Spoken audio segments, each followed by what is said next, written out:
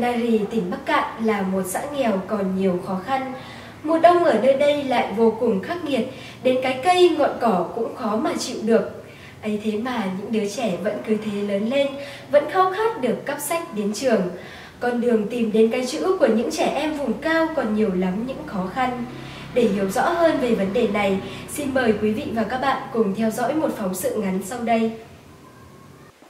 Bạn bè như thể anh em quan tâm giúp đỡ càng thêm thân tình.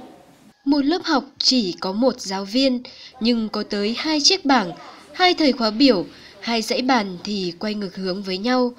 Cô giáo giảng bài ở dãy bên này thì dãy còn lại sẽ làm bài tập hay lén đùa nghịch.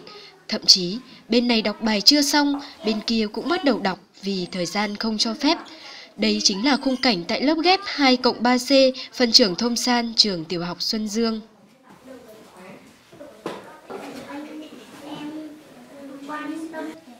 Trong lớp có một học sinh rất đặc biệt, rất ít khi thấy em nô đùa cùng các bạn, khuôn mặt luôn lầm lì, lâu lâu lại bật cười trong vô thức.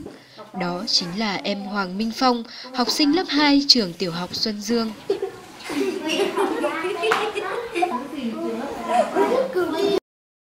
Trong lớp thì em ấy không hay tham gia vào những hoạt động của lớp, ờ, hay làm việc riêng, rồi nói chống không ờ và bị các bạn phê bình. Chính vì thế mà các bạn thường hay xa lánh bạn ấy. Ở trong lớp em không nghịch với bạn Phong. Vì bạn Phong láo. Phong đi lấy nước thì không hộ các bạn. Trên lớp không? Không, Không làm gì? không làm gì. Không làm gì cả là những điều tai chúng ta nghe, còn có những điều mắt chúng ta chưa thấy.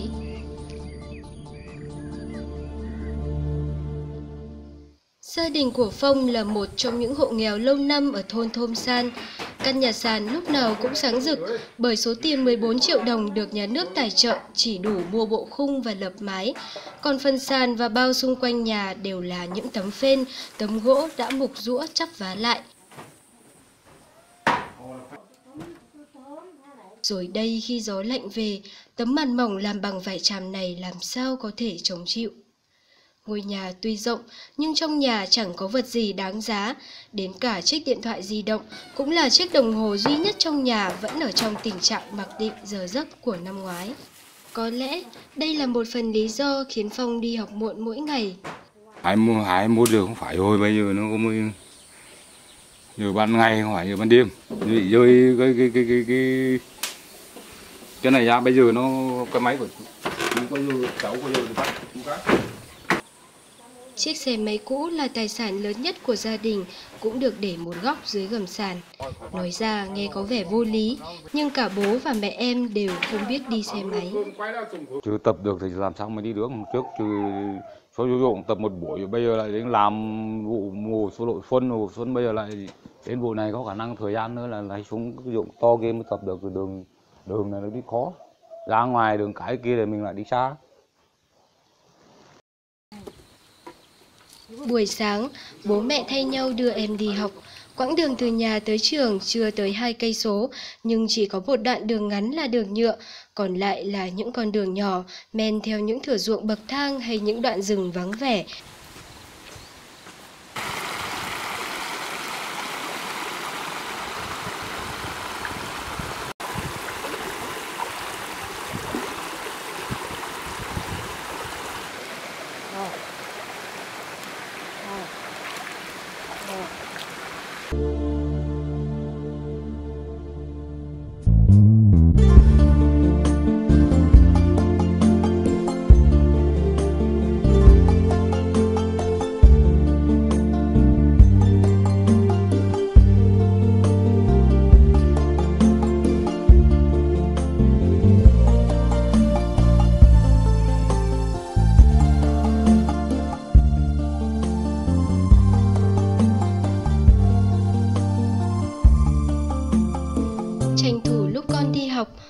Phong gánh thóc sang đường lớn để sát, mẹ em lên rừng kiếm những loại cây củ có thể bán được.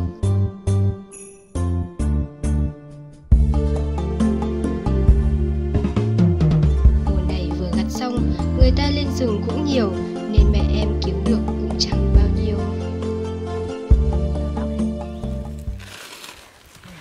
Có lăng tỉ à? Ôi xem chả nó quá. Ông ấy lăng có tỉ nè. Ở cái vậy. Ờ. Cân ký lai không? À Tham xiên hả?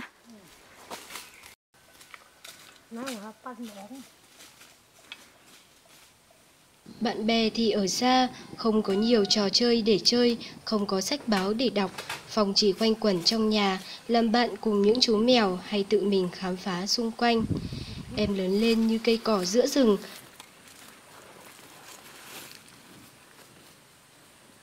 Chiếc xe đạp được một tổ chức từ thiện tặng, không có sân rộng. Em tập đi dưới gầm sàn, vốn là nơi chăn nuôi gà vịt.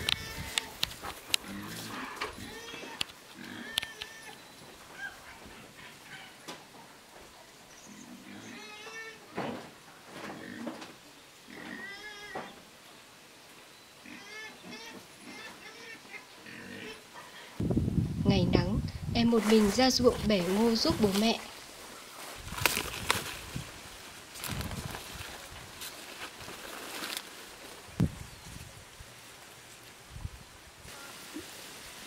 六公里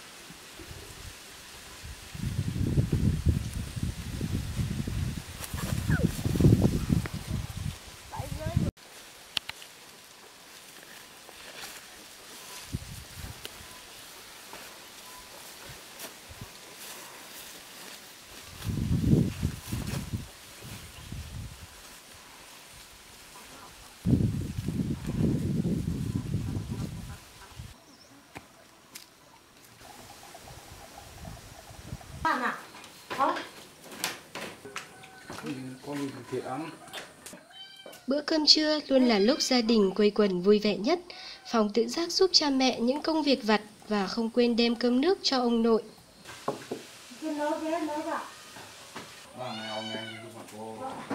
ăn đầu ăn gì hả Tranh thủ giờ nghỉ trưa, bố mẹ cùng em ôn bài. Cả chữ viết và tiếng phổ 20 thông mẹ em đều chỉ biết một chút. Vài phép tính đơn giản, đôi khi cũng không chắc chắn đáp án. Cái này kiểu vừa nào. Mà ấy. mười năm Mà nó mà chín chữ chín mà bao nhiêu? chữ Hả? Chữ là là bưởi. má Chữ là kiểu vừa mà ta mai bao nhiêu? Mai mày thôn này hai rồi. Vừa. thì cứ đến chú rồi bới bạn các em các bằng lên đây chơi thì nó quen nhau là số rồi về là nó cưới nhau luôn. Hai năm một chín. Hai chín. Chín chín. Thằng à, mở mà thằng chín chín chín chín mà ấy bị chín chín mà hai nghìn 零 chín cho mày ở phòng ờ giờ ba bố bố mày đây cả chứ ha cùng à ha tiểu con có bằng với tôi tiểu ha này. Bố mày hàng tiếp bia của bố mày à. Áo tôi mà con có bằng tôi tiểu áo của tiểu áo của con bên em của cô mày quá con ní giá thế này đấy. Là một người gốc Hà Quảng, Cao Bằng, người phụ nữ này kể từ khi sinh con thì chưa một lần được về thăm quê ngoại vì không đủ tiền xe. Nghèo đấy, đói đấy, nhưng cuộc sống của gia đình vẫn luôn đầm ấm. Gần 20 năm cùng chung sống, người chồng chưa một lần đánh chửi vợ. Vợ mặc áo trái thì chồng nhắc nhở, vợ dạy con tính sai thì chồng sửa lại. Học hành tuy chỉ đến lớp 2, nhưng hễ trong bản ngoài xã có hoạt động văn nghệ nào, mẹ của Phong đều nhiệt tình tham gia. Đôi giày mà chú khoe với chúng tôi cũng do tay cô tự làm để diễn vào mỗi dịp hội xuân. ừ, cái hai thì nồng và hát phải nghe còn hai bạn này hát cho nó phải hát tổng cái thứ hát bản ấy hát la chi la không phạm không pi Cái đói, cái nghèo dường như không khuất phục được họ. Ước mơ dắt tay con vào cánh cửa đại học của một người mẹ học hết lớp 2, một người bố học hết lớp 5 vẫn ấp ủ từng ngày. Buổi sáng đau bụng phải nghỉ học thì nhất định buổi chiều em sẽ đòi mẹ đưa đến lớp. Hay tờ giấy in thời khóa biểu luôn được cha mẹ Phong ưu tiên dán lên nơi cao nhất, sáng nhất trong nhà. Chiều nay, mẹ Phong vào dãy nhổ lạc, bố em đi họp tổng kết hội nông dân. Tàn học, Phong tự mình về nhà, vẫn dáng người nhỏ nhắn ấy, bén lẽn đi sau các bạn. Em bảo, mặc dù lát nữa sẽ phải đi một mình, nhưng được đi cùng các bạn một đoạn, em cũng thấy vui và đỡ sợ rồi. Dẫu biết rằng quãng đường còn nhiều khó khăn, nhưng chỉ cần có tiếng cha mẹ đáp lại, em luôn vững tin để tiến về phía ánh sáng, mạnh mẽ, cứng cáp như những đóa hoa tỏa ngát hương rừng. Thưa quý vị, chúng ta không được lựa chọn nơi mình sinh ra, nhưng được lựa chọn cách ta sẽ sống. Tình thân là ngọn đèn trong đêm, giúp con người vén mây mù và tìm ra hy vọng. Tới đây, chương trình cùng em tới trường cũng xin được kết thúc. Cảm ơn sự theo dõi của quý vị và các bạn. Xin chào và hẹn gặp lại!